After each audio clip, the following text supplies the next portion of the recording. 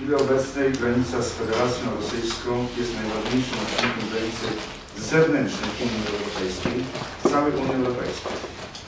Bo wszyscy dookoła powtarzają, że jest to e, obrót emigracji. To tak samo jakby z historii mówić, że na Polskę nie napadli Niemcy, tylko naziści. Czyli nie wiadomo kto, kto to jest. Granica bardzo ważna. Unia Europejska e, włącznie z całym przedstawicielstwem e, Brukseli, tak samo jak przedstawiciele Frontexu, to jest tak jakby e, Zjednoczona Straż Graniczna Unii Europejskiej Frontex, która w tej chwili jest siedziba w Warszawie. Na bieżąco monitoruje przepływ cudzoziemców, jak też zagrożeń związanych z tym.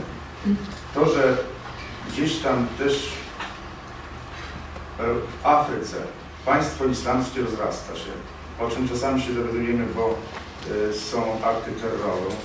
Jest to, powiedział, nowa wojna światowa, tylko ona taka jest pełzająca.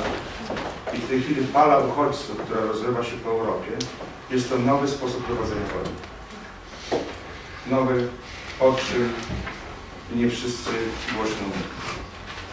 I dlatego też te 20 km, które się znajdują na tej terenie e, naszej gminy, są to bardzo ważne kilometry.